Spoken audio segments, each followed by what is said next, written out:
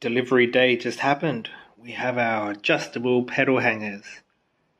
These are raw cut from the factory and they look and fit together so good. What a change. I don't know which one I like the most. I think I'm going to try this one first. This is the one I like the most and damn wow they are so perfect. And then, or was it this one? Oh, I don't know. And these things fit perfectly for the additional support. Yes, very pleased. So looking at all these pedal hangers and on here, I really don't think this one's going to be realistic. Like, come on, what was I thinking? No way. Flat, upper, upper even more, and stock. Favorite. Mm, probably won't use it, so I'm going to put this on first. Let's go do it. Quick afterthought, going forward, I'm going to put notches on these so it's really obvious. I think I'm going to do it on the lower side so it's really obvious for the orientation on how to mount them because you get kind of confused. Like, does this one go with this one? No, it doesn't. It goes with this one.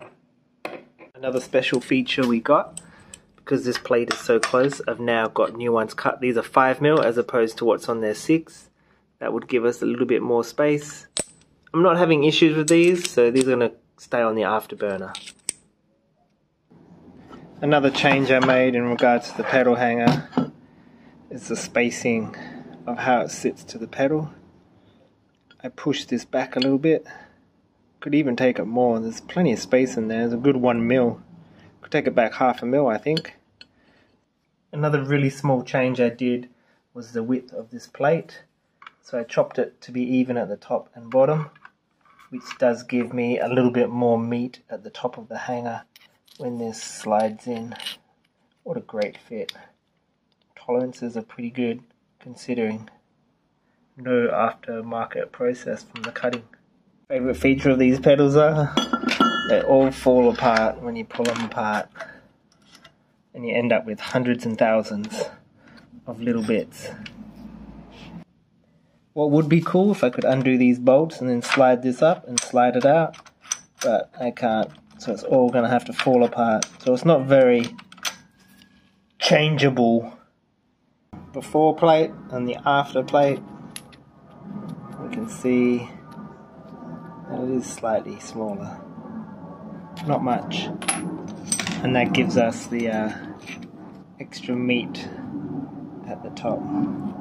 Not much, but everything counts. Damn. The middle bolt is 6 mil and these are 5 and I forgot to make this 6. So I've got to drill it out now. Oh, extra work. We got our new hanger on. It's looking a lot lower in profile. It's tightening up pretty nice. It is difficult to tighten this one once all these extra bolts in and we can't adjust these once the side plates are on. It's a bit disappointing, but it is due to the restrictions but this is more of a concept of getting the right height geometry and shape. After a bit of a closer inspection, that curvature is pretty nice. These are actually slightly adjusted to be pushing in. Looking at the height adjustment is, wow, that is huge. Coming up sitting quite high with the bolts in line here. And then on the other side, it's like, wow, very different. I have to go look at my CAD stats, but that is a substantial pedal height reduction. And I've got one in between. I am very pleased with it. Wow.